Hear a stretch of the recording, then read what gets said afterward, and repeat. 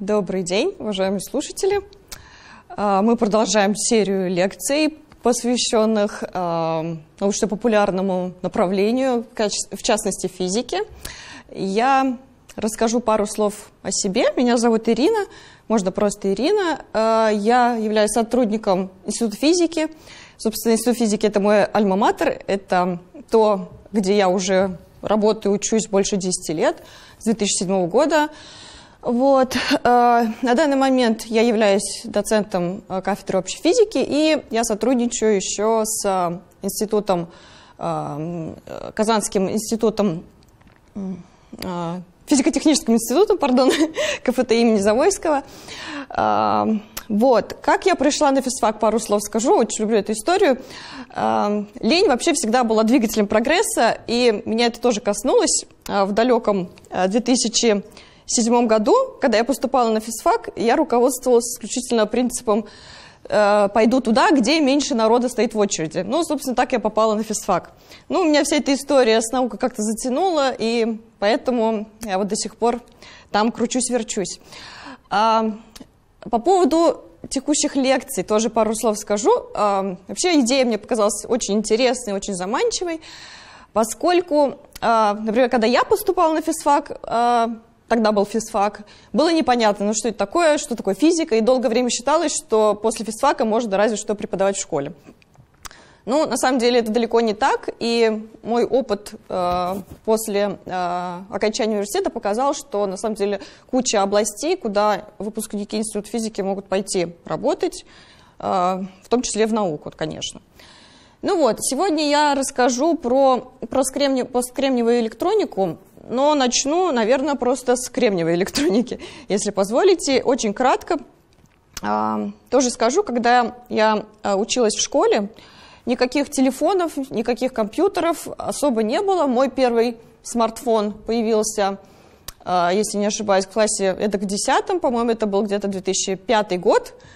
И до 2005 года я вообще не знала, что такое смартфон. Тем более я не знала, что такое процессоры, что они работают почему-то на кремнии. Вообще не знал, что такое кремний. Вот, поэтому я кратко расскажу, что это такое. С чего вообще все началось? А, считается, что прародителем, э, там, тем, кто инициировал вообще это направление, э, является Майкл Фарадей. В 1833 году он исследовал э, вот такое соединение, аргентум 2С, и обнаружил, что у него какая-то аномальная зависимость сопротивления от температуры. Было известно, что у металлов сопротивление падает, а, сопротивление, э, пардон, растет с увеличением температуры у металлов. В то время как он обнаружил э, абсолютно противоположное явление. Он подумал, что, возможно, что-то не так, и поэтому он продолжил это исследование. Еще ряд других э, веществ обнаружил, таких же, аналогичной зависимостью. И позже эти вещества назвали полупроводниками. Э, оказалось, э, что кроме как вот этой зависимости, такой интересной, сопротивления от температуры, полупроводники еще отличаются от металлов а, зонной структурой. Кто не знает, что такое зонная структура, я тоже два слова скажу.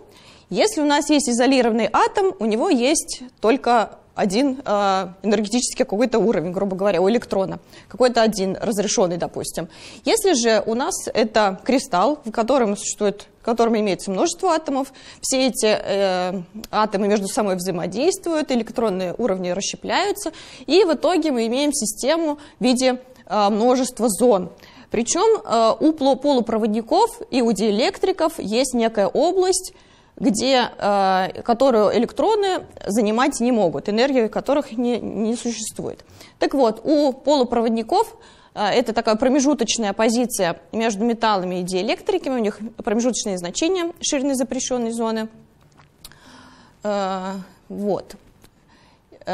После открытия полупроводников это направление очень обширно исследовалось. И так уж случилось, что самым таким популярным и самым известным э, стал кремний. Ну, существует несколько э, критериев, почему именно кремниевая электроника. В частности, у него такая э, промежуточное значение ширины запрещенной зоны. Его удобно, э, его много, во-первых. Это второй по распространенности элемент э, в, в, у нас на планете. Первый кислород, второй, соответственно, кремний.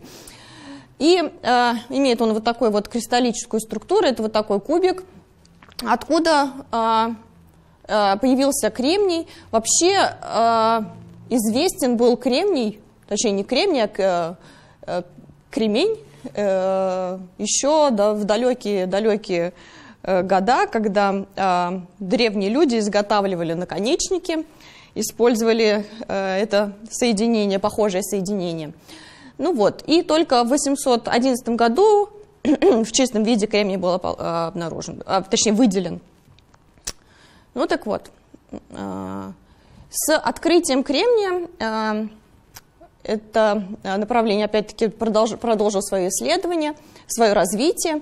И здесь я расскажу о направлениях, в которых двигалась полупроводниковая и неполупроводниковая электроника. А, так, в 1883 году Томас Эдисон, тоже многие, наверное, слышали, он а, пытался улучшить свойства вакуумных а, ламп с угольным катодом, и он вывел металлический электрод и обнаружил, что при облучении этого электрода по вакууму течет ток. Казалось бы, какой-то нонсенс. нонсенс. Эдисон подумал, ну что за такое интересное явление, ну возьму-ка я на всякий случай его запатентую.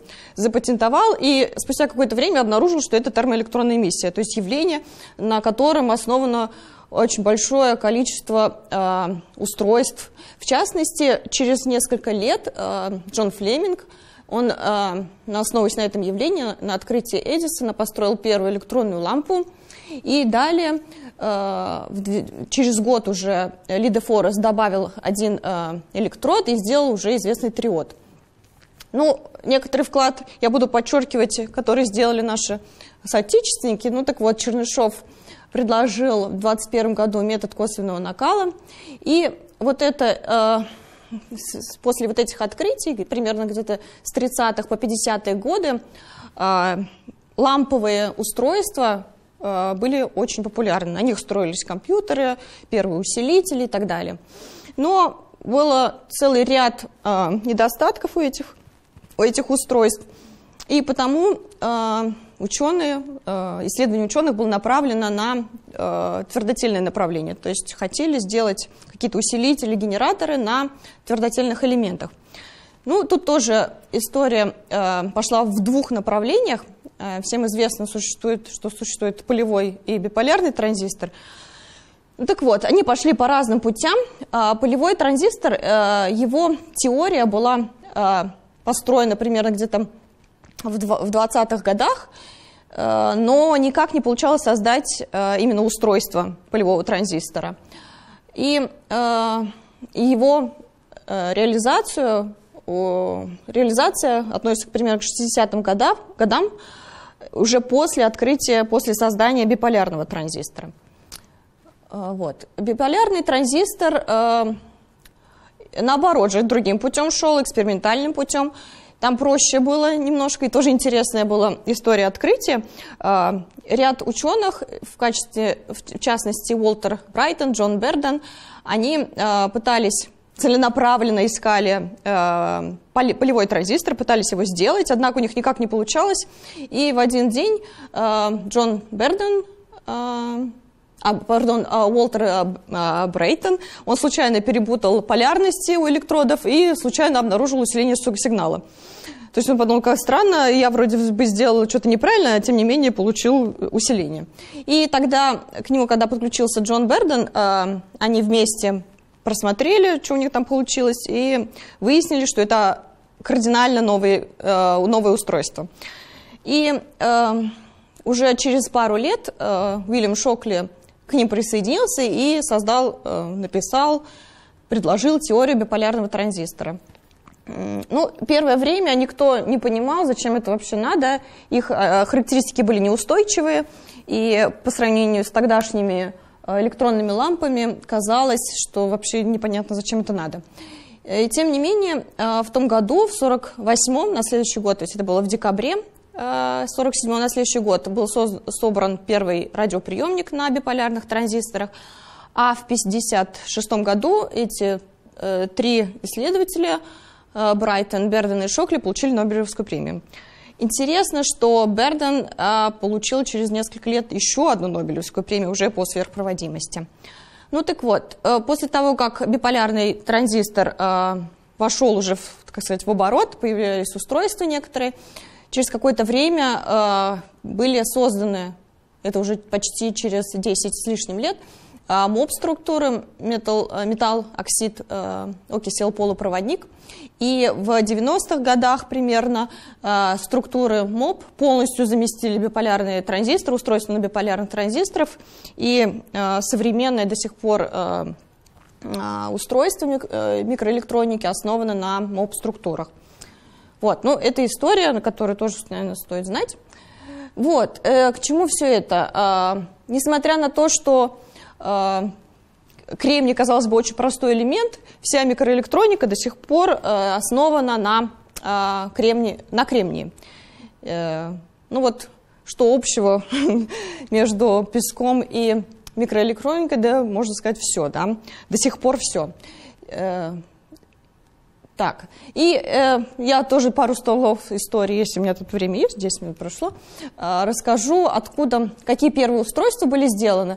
Ну вот мне всегда было интересно э, компьютеры, как они развивались, так уж сложилось.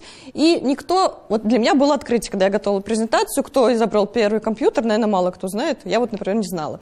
Оказалось, что э, немецкий э, авиаинженер, он работал на авиазаводе, и э, в один прекрасный день он сказал, что-то мне лень делать расчеты, попробую-ка я дома смастерить на реле, он, в общем, механические реле использовал, и вот такую счетную машину он собрал, э, которая, э, более того, он к этой машине написал язык программирования, то есть кроме того, что он создал первый, э, первый э, компьютер, он написал еще и первый язык программирования. Так, ну, во время войны э, часть его компьютерных наработок была разрушена в результате бомбардировки Берлина, но некоторые наработки до нас дошли, в музеях до сих пор сохранены эти первые компьютеры.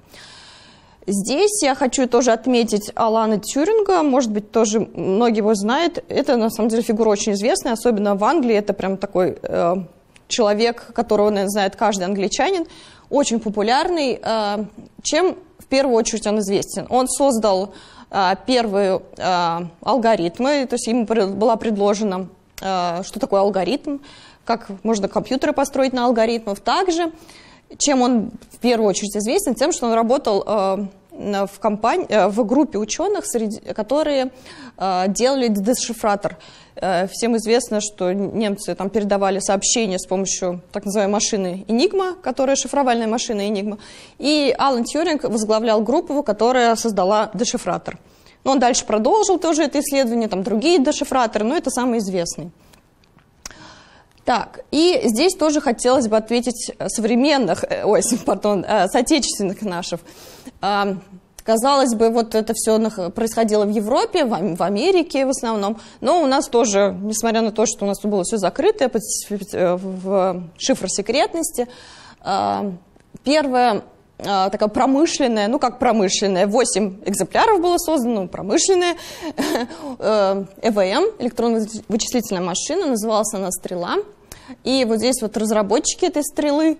А, вообще «Стрела» — это не единственный компьютер, а, который у нас разрабатывался, их было несколько, но «Стрела» считается первым отечественным ЭВМ. Эм. Вот. И я тут некоторые характеристики, картинки такие интересные нашла. Вот это ЭВМ — она вот представляла такое, вот это все, это одна машина, там процессор занимал там какую-то площадь, здесь вот у меня тоже можно почитать, сколько она занимала. В общем, это огромные площади, которые выполняли там мизерное количество операций в секунду. Ну, а вот с этого начиналось. И э, как бы подытоживая вот эту вводную часть, э, хочется сказать, что мы прошли огромный путь за сто лет. мы начали с человечеству. Мы начали с обычных табуляторов. Э, табулятор, что это такое, могу тоже вот рассказать интересная история.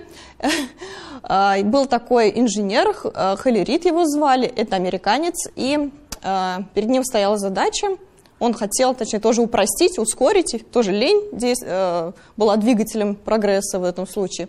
Он предложил такую машину, которая подсчитывала количество людей, участвующих в переписи населения Америки 1896 году. он прям молодец такой, сделал такую машину, и э, начальник э, отдела, который занимался переписью, так ему понравилась эта машина, что даже он отдал свою дочь в этому хлериту, то есть женились они, в общем. А, и вот с тех пор, а, после возникновения, после инициации этого развития, мы, значит, прошли путь от табуляторов, и почти мы подобрались уже к а, к производительности, равной производительности человеческого мозга. Ну, пока дошли только. Вот здесь я представила последние данные суперкомпьютеров. А, суперкомпьютер – это большая такая, собранное множество серверов, э, вычислительных машин, которые между собой тоже Э, взаимодействуют. И вот на сегодняшний день самым производительным суперкомпьютером считается суперкомпьютер, который находится в Японии э, и принадлежит совместно Институту Рикен, Рикен, наверное, тоже многие слышали, мы с ним взаимодействуем активно, и совместно с Fujitsu. Fujitsu тоже известная компания. Ну так вот, э, этот суперкомпьютер имеет 7,5, ну, 7,6 миллионов ядер, выполняет вот такое огромное, просто невообразимое количество операций а, в единицу времени. То есть примерно за 100, за 100 лет мы прошли путь от вот такого устройства, а, там никакой логики по сути нет, а, ну вот такая машина была, до мощных суперкомпьютеров. Однако на сегодняшний день мы стоим перед так называемой кирпичной стенкой, мы достигли предела, как, говор... как считается.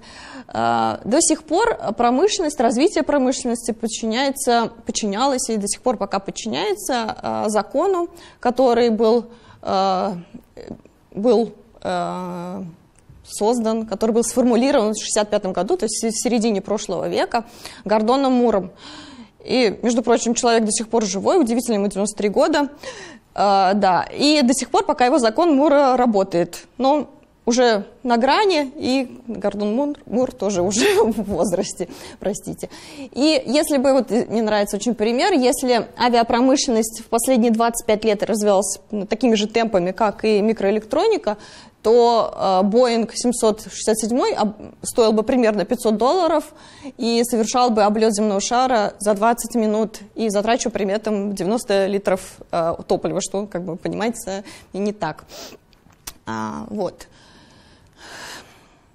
Но на самом деле, э, как я сказала, мы пришли к так называемой кирпичной стенке, и дальше Э, развитие подошло к своему пределу. Есть несколько причин, почему подошли к пределу. Ну, в частности, э, возникают тут некие такие утечки, про которые говорят, говорят про квантово-механическое туннелирование, когда электроны проскакивают, что связаны между собой. И я тут расскажу немножко про еще одну глобальную проблему, проблема тепловыделения.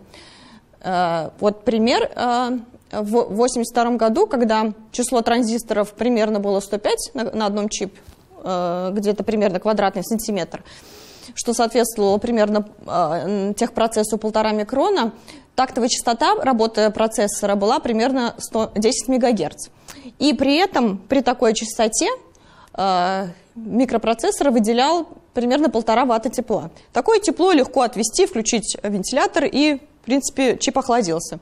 Но с развитием технологий частота процессоров возрастала, Э, быстродействие увеличилось, и, например, вот в 2003 году уже было 100 ватт тепла, которые, в принципе, тоже нормально можно отвести. Однако сегодня мы пришли примерно к пределу, э, к 5-нанометровым э, техпроцессу, и тактовой частоте примерно 5 ГГц, и при этом тепло, которое выделяется, уже невозможно отвести обычными вентиляторами. Приходится ухитряться, эм, ухищрения какие-то говорить, находить. А, откуда берется вот это тепло? Каждый раз, э, перезаписывая информацию, сбрасывая а, переключая, так сказать, транзистор, выделяется некое количество теплоты. Ну, принцип Ландауэра так извест, э, известный. При перезаписи информации, при стирании выделяется тепло. Ну, и это тепло, с этим теплом необходимо что-то делать, да, его нужно, его нужно удалять каким-то образом. Так вот, частота переключений растет, плотность э, транзисторов растет, раз, а размер транзистора остается, размер чипа, пардон, остается прежним, нужно это тепло отводить. Что делать? А, что делается? Так, вот здесь я тоже пример привела, что а, обычный, ну такой среднестатистический, не самый быстрый суперкомпьютер по количеству теплота выделяемого равен примерно тысяче а, работающих электроплит. Как бы представили, сколько это тепла, очень трудно с этим что-то делать. А, что же делают? современные дата-центры и современные суперкомпьютеры сейчас строятся под землей. И вот последние наработки а, дата-центр, по-моему, в, а, в Норвегии строится, и они его сделали, во-первых, под землей, где-то там во фьордах, и, э, точнее в скалах возле фьорд, и э, они сделали такое устройство, что вода из фьорда, из, э, из холодного источника циркулирует внутри, э, внутри вот этих помещений между Э, между компьютерами и таким образом охлаждает их. Ну вот вы выкрутились, так сказать. Но это тоже пока временное решение, дальше тоже с этим что-то нужно будет делать. Так вот, какие еще есть направления, э, что с этим делать? Э, есть такая технология, которая называется Dark Silicon. Я тут пробегусь быстренько по каждой. Dark Silicon – это значит, когда часть Э, часть процессоров, часть э, микротранзисторов просто отключены, которые нам не нужны, они просто отключаются, потом включаются другие по очереди. Ну, соответственно, немножко, немножко таким образом сбавить количество теплоты, которое нужно отводить. Вот. Существуют некоторые радикальные методы охлаждения, когда чипы погружаются в специальные какие-то кондиционеры, охладители и так далее. А, тоже известная Э, принцип параллелизации, то есть когда э, расчеты или какие-то вычисления идут параллельно. Это тоже такие попытки, так сказать, немножко упростить систему, упростить процессы теплоотведения. Также есть такая технология, называется System on a Chip. Это значит, когда некий процесс, который необходимо сделать конкретно под какую-то задачу, сразу собирается на одном отдельном чипе. Вот. Ну, соответственно, круг задач, который решает потом этот чип, чип ограничен. Есть такой э, э, подход, как адиабатическая реверсивная логика. Суть его в том, чтобы э, вот это тепло, которое выделяется, как-то рециркулировать, то есть обратно направить на расчеты или на переключение. То есть добавляются некие дополнительные рециркуляторы тепла, и по новой все это прогоняется. Ну, это тоже такой сомнительного действия, сомнительной длительности действия подход, хотя, в принципе, применим. А, так, и есть подход, как сейчас, использование туннельных полевых транзисторов на эффекте квантового механического туннелирования, таким образом уменьшает токи утечки. Э, есть э, такие, так называемые наноэлектромеханические реле, которые тоже приз, э, призваны уменьшить токи утечки. Ну и также очень популярны сейчас, до сих пор, точнее, последние лет 20, наверное, графеновые структуры, на них тоже пытаются что-то делать, но, однако, там тоже есть свои проблемы. Но их тоже пытаются преодолеть, я чуть позже покажу один пример. Вот. Ну, это все было то, что сейчас существует и уже э, работает активно, мы все мы этим пользуемся с вами. А, есть э, альтернативные методы. Ну, сейчас, сейчас тоже очень популярен квантовый компьютер, наверное, все об этом слышали. Я не буду рассказывать про принцип действия. Э, скажу, в чем отличие. Э, когда мы работаем на обычном обычный всеми известный нам компьютер, у нас есть э, токи, которыми мы управляем, у которого есть, соответственно, э, бит шифруется единицей или ноль. Здесь эта ситуация Э, противоположная, ну, точнее, совсем, совсем другая. Принцип действия вообще абсолютно другой. Э, я здесь покажу, какие были устройства построены на последние, последние устройства квантового компьютера. Так вот, в июне 2021 года, в прошлом году, летом, была опубликована статья, где китайцы построили вот такую вот двумерную структуру. Здесь 6 на 6, по-моему, а, 6 на 7 ячеек, 56 э, процессоров, которые, э, каждый из которых э, работает параллельно, все это система организована, и такой чип э, считается до сих пор самым быстрым квантовым компьютером. Вот. Э, ну, здесь ряд преимуществ, понятное дело. Если у нас э, не нужно кодировать информацию только 0 и единицы, у нас нет никаких ограничений. И, соответственно, мы можем хранить и обрабатывать одновременно огромное количество больших данных и обрабатывать информацию с огромной скоростью. Также э, существует ряд задач, которые э, обычные компьютеры не могут решать. Ну, например, это какая-то разработка лекарств, кибербезопасность, финансовое моделирование, которые включают в себя огромные масштабы э, input файлов, э, обрабатываемую информацию, которую нужно обработать, и, соответственно, получить какой-то выход. Вот, но э, здесь я тоже пример, картинка э, суперкомпьютера, квантового суперкомпьютера. Если здесь было 56, я, по-моему, сказала, кубит, кубитов, то здесь 5000 кубитов. Это самый большой квантовый суперкомпьютер, находящийся в Европе, находится в городе Юлих. Это в Германии. А, Юлих вообще известен а, своими квантовыми, а, не только квантовым, вообще компьютингом. Между прочим, в Юлихе был открыт эффект, квант, эффект магнитосопротивления, который мы с вами ежедневно в жестких дисках используем. Вот. Но, несмотря на э, все преимущества, казалось бы, квантового компьютера, до сих пор есть некоторые ограничения, которые пока не мож, человечество не может решить. Дело в том, что а, создать а, практически, для практических целей квантовый компьютер достаточно сложно. То есть так, чтобы в каждом доме стоял квантовый компьютер, мы еще очень далеки от этого. Может быть, и никогда не придем к этому.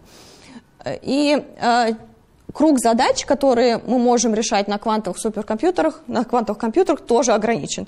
То есть э, люб, просто обычную задачу мы пойти решить на, комп, на, супер, на квантовом компьютере не можем. Э, и последнее, э, если мы даже какую-то задачу решаем, то проверить этот результат мы практически не можем. То есть нет аналогичного обычного компьютера, на котором бы мы такие задачи могли обработать. Но все это... Мы можем сделать вывод о том, что квантовые компьютеры — это супер, какой-то круг задач мы их можем использовать, и в будущем, скорее всего, будет использовать, но к какому-то промышленному и общедоступному способу, общедоступному устройству вряд ли мы придем. Так. А, альтернативным направлением, которое уже тоже давным-давно исследуется, уже последние лет 20-30 может быть, даже больше. Это спинтроника. Тоже, наверное, все слышали про спинтронику. Э, в чем суть спинтроники? Если в электронике э, у нас передача импульсов и так далее, передача информации происходит с помощью э, зарядов, то есть протекает заряд, здесь перетекает спин. Что такое спин, если вдруг кто-то не знает? У электрона есть собственный момент собственный момент вращательный, и этот спин, соответственно, может принимать два состояния наверх или вниз. Соответственно, мы уже имеем какую-то систему, которую можем кодировать нулем и единицей. Ну, э, грех не использовать такую систему в качестве электроники, да, э, для электроники. Так вот, спин-арбитроника или спинтроника основана на передаче вот этого спинного магнитного момента. В чем преимущество ее по сравнению с обычной обычной э, электроникой. Ну, во-первых, э, спин электрона гораздо проще передавать в пространстве, поэтому э, это, это требует гораздо меньшего энергии, меньше энергии. Соответственно, потери при передаче тоже значительно меньше, чем просто в электронике. И так, и на основе спектроники что делается? Де, де, делаются, я сейчас тоже покажу, что было сделано, уже сделано. Так, э, вот здесь я представила несколько вариантов э, транзисторов, спиновых транзисторов. Э, можно поискать, почитать, как они работают. Тоже очень интересно. Я не буду заострять внимание. И расскажу только здесь про одно устройство, которое тоже недавно, это 19 год, два года уже прошло этому исследованию. Эм, вообще, в чем проблема спинтроники? Проблема спинтроники в том, что необходимы ферромагнетики. Ферромагнетики – это источники спиновых спинов, ферромагнетики, которые имеют постоянный магнитный момент э, вне поля. Так вот, обычные ферромагнетики – это металлы, а нам для электроники обычно необходимы полупроводники, чтобы усиливать сигнал, да, или, ну, управлять им. И, э, соответственно, металлы – это не полупроводники. Поэтому э, шел активный поиск каких-то альтернативных материалов. Э, вот были найдены, например, оксид титана с примесью кобальта, э, такие многослойные э, галлиевые э, соединения. Э, на некоторых органических соединениях тоже было обнаружено, что они являются и полупроводниками, при этом имеют э, постоянные, постоянные магнитные моменты. И даже в пластике было обнаружено такое явление. Ну вот, и последнее исследование на графене, раз уже графен так популярно говорить, я тоже про него скажу. В этом исследовании, значит, что было сделано? Графен вообще сам по себе является хорошим источником спинов, но поскольку в нем достаточно трудно управлять этими спинами, там спиноорбитальное взаимодействие очень слабое, было предложено сверху положить, а, так, вот ванадий э, С2, по-моему, соединение вот такое э, с тяжелыми атомами, и здесь подключили золотые электроды и обнаружили, что там генерируется э, спиновый ток, который можно, который, можно, которым можно управлять. Ну вот такой вот предложили такую модель, однако это пока тоже э, вряд ли будет реализовано, хотя кто знает. Э, что уже было реализовано? Э, на основе спинтроники были созданы ряд устройств, которые мы все с вами пользуемся.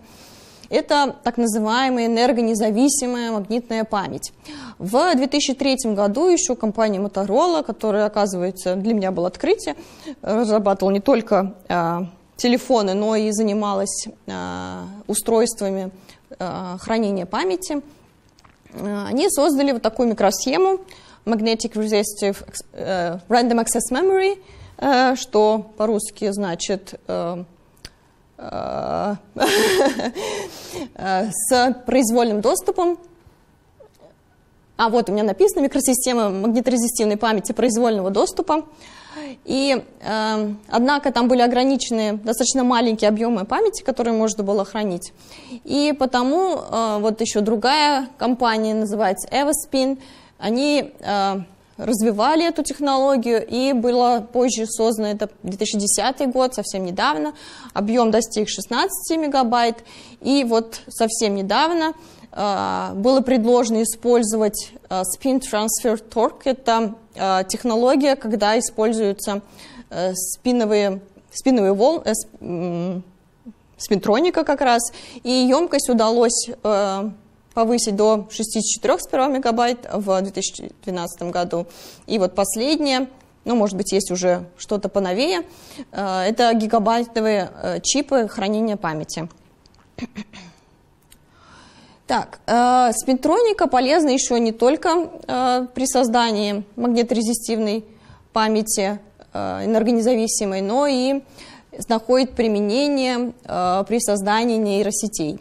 Что это такое, наверное, тоже сейчас все, у всех на, э, на языке. Э, очень модно сейчас говорить про искусственный интеллект, поскольку это направление активно развивается. И чем могут помочь э, спинтроника здесь? Э, спинтронное нейроморфное устройство, их идея в том, что и процессор, и память находятся в одном блоке, и функцию выполняет некое спинтронное устройство, которое называется искусственный нейрон на основе некоторых, неких магнитных гетероструктур, и вычисление и создание э, нейросетей на таких системах гораздо-гораздо проще и позволяет создавать, вот уже здесь я тоже примеры э, Э, вставила, в частности, компания Intel э, делает такие э, чипы с искусственным интеллектом, которые там система распознавания лиц, распознавания звука и аналогичных изображений. Вот. Здесь тоже есть пока некие ограничения, но это направление, которое тоже очень, очень активно развивается и будет развиваться. Ну и одно из таких Э, тоже популярных направлений, когда спинтроника уже подойдет к своему пределу, она уже тоже на границе.